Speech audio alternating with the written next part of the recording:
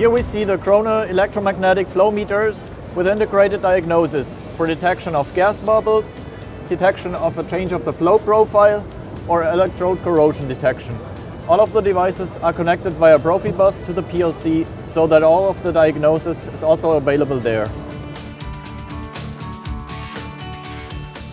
KROHNE has with the OPTITEMP series a wide portfolio of standard thermometers for the process industry. This includes sensors for solid, liquid, gas and steam.